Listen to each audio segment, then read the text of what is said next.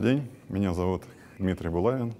Последние несколько лет я занимаюсь развитием инфраструктуры рынка венчурных и прямых инвестиций. Сегодня я расскажу вам про инфраструктуру а, поддержки малого и среднего предпринимательства. Совсем недавно а, Минэкономразвития опубликовал стратегию поддержки а, малого и среднего предпринимательства в России. Это пока проект — Основные э, направления этой стратегии, э, безусловно, в ближайшее время э, лягут в развитие э, инфраструктуры поддержки малого и среднего э, бизнеса в России. Первое, что э, необходимо отметить в проекте стратегии, это то, что она призывает к интеграции всех э, участников э, поддержки малого и среднего бизнеса. Также она предусматривает э, поддержку э, спроса, стимулирование спроса на продукцию малого и среднего бизнеса. Она предусматривает меры, направленные на э, повышение производительности труда в этой сфере. Один из важных вопросов, которые, к сожалению, э, значится под э, номером 4, это улучшение условий финансирования малого и среднего бизнеса. Также стратегия рассматривает различные мероприятия, направленные на э, упрощение налогового режима и обязательных платежей, на повышение предпринимательской активности в различных территориях, ну и, конечно, на улучшение а, карьерной, э, кадровой составляющей в малом и среднем бизнесе, а также э, на общем э, повышении предпринимательского потенциала.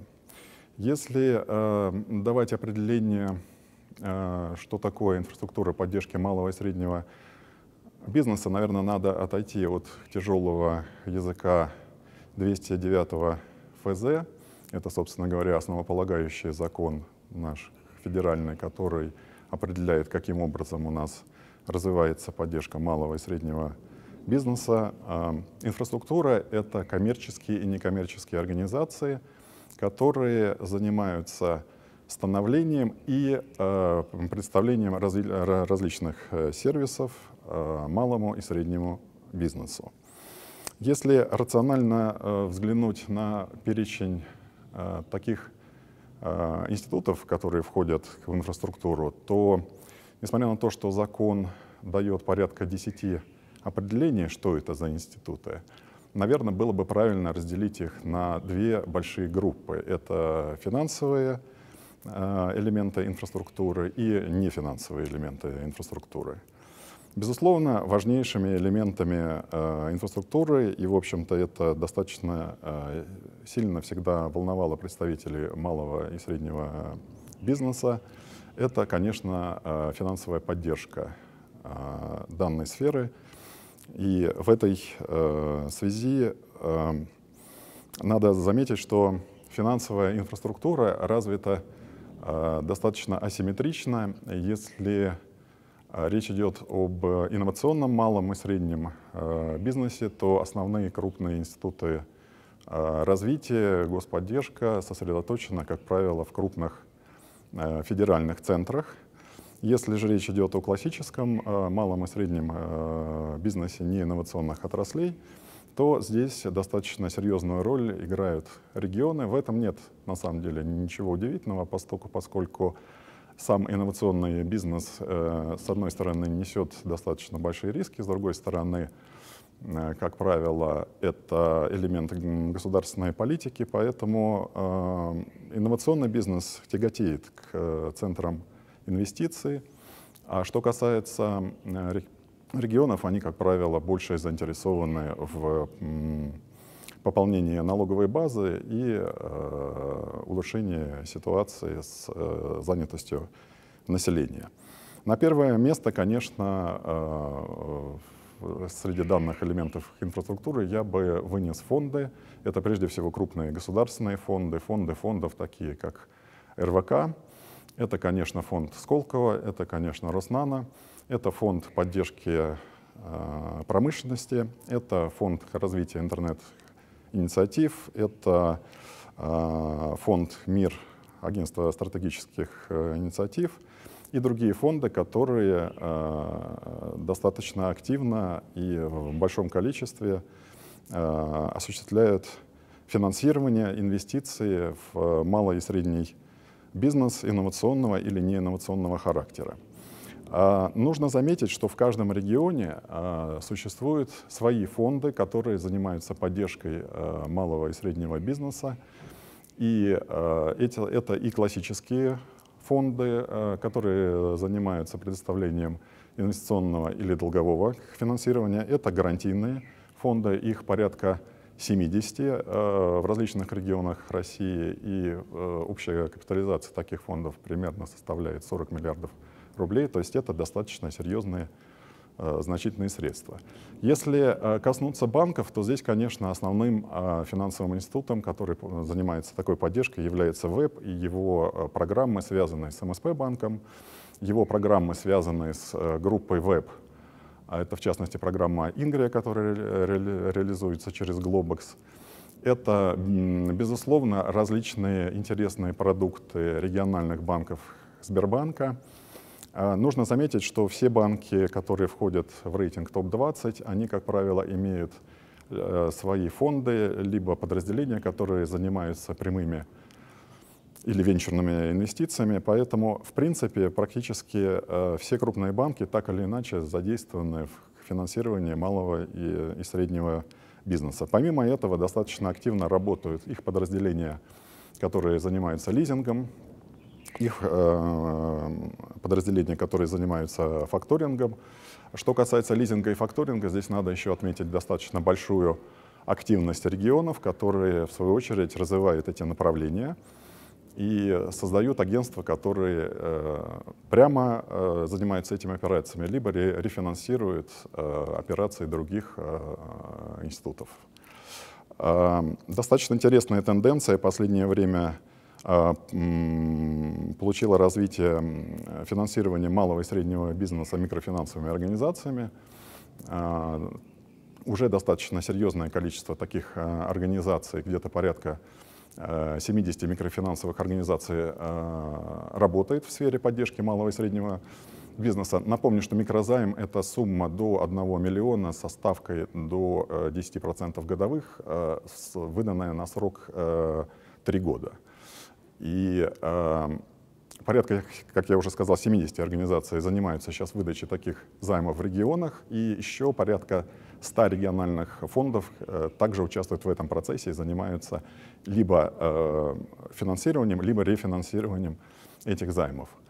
А инфраструктура финансовая достаточно сложная, и отрадно заметить, что мы в этом отношении не отстаем от э, остального мира. У нас появляются агрегаторы, которые позволяют проектам находить доступные для них сервисы, в этом отношении мне хотелось бы отметить э, площадки, которые появились и активно развиваются в последнее время. Ну, прежде всего, это StarTrack э, Фонда развития интернет-инициатив. Эти площадки позволяют проекту прийти и получить э, доступ практически ко всем возможным инструментам финансирования, ну, не только финансирования, но еще и поддержки, но это уже не финансовая поддержка, наверное, я коснусь этого дальше. Но все э, участники э, инфраструктуры, как правило, э, также работают с этими площадками, и государственные институты, и крупные фонды, и частные инвесторы, и региональные фонды, все смотрят также перспективные проекты на вот таких площадках, как StarTrack. Э, Что касается нефинансовых институтов, здесь достаточно большой перечень структур, которые участвуют в инфраструктуре. А, ну, прежде всего, наверное, нужно э, заметить, что это, конечно, особые экономические зоны, инновационные зоны. Это большие, э, как правило, и серьезные территориальные образования с особым режимом. Здесь же, наверное, надо отметить наши наукограды, то есть это города с а, градообразующим научным производственным потенциалом, типа Обнинска или Бийска. Также достаточно большие проекты, которые на слуху, это технопарк Сколково или Иннополис Казань. Это достаточно большие структуры, которые предоставляют Э, практически полные сервисы э, научного и производственного типа. Отличие технопарка от Иннополиса состоит лишь в том, что Иннополис еще предоставляет эм, скажем, возможность проживания участникам малого и среднего бизнеса, чего нет в технопарке. Здесь же мы можем отметить наличие более 120 бизнес-инкубаторов, которые работают на сегодняшний день. Ну, э, слово инкубатор говорит само за себя. Задача бизнес-инкубатора, э, собственно, бизнес э, вырастить, бизнес поддержать. Это различные сервисы, связанные с арендом, с юридическим, бухгалтерским консалтингом, с предоставлением линий связи, с доступом к базам данных и так далее. А, достаточно много центров, которые занимаются вопросами коммерциализации э, технологий, трансфера технологий, инжиниринговые центры, центры э, прототипирования. Это все, что э, позволяет бизнесу успешно реализовывать уже своей свою продукцию, свою бизнес-модель, тоже важные институты э, э, инфраструктуры. Э, также работают организации, которые занимаются поддержкой экспортоориентированных предприятий малого и среднего бизнеса. Это, конечно, и программа Росэксимбанка, это, конечно, и агентства, которые занимаются маркетингом продукции малого и среднего бизнеса за рубежом и подбором зарубежных партнеров. Необходимо также отметить, что э, достаточно большую роль играет консалтинг. Он также встроен э, в структуры технопарков, технополисов. Но это и отдельно стоящие, достаточно громкие э, имена. Э, юридический консалтинг, бухгалтерский аутсорсинг, маркетинг, кадровый аутсорсинг. Это все, что необходимо малому и среднему Бизнесу это все достаточно активно развивалось в последнее время и, с моей точки зрения, достаточно хорошо э, представлено э, в инфраструктуре вот это вот направление. А что можно сказать из нового? Э, достаточно интересное э, движение было этим летом. Появилась федеральная корпорация по развитию э, малого и среднего предпринимательства